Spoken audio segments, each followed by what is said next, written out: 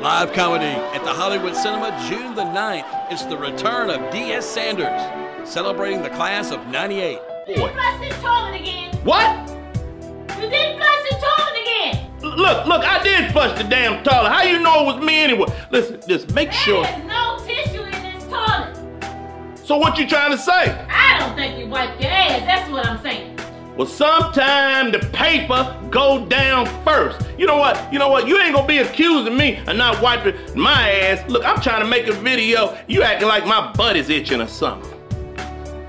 Also, Travis the Middleman, and featuring Lauren Ansley. It's the return of D.S. Sanders June the 9th at 8 p.m. at Hollywood Cinema. Live comedy is back.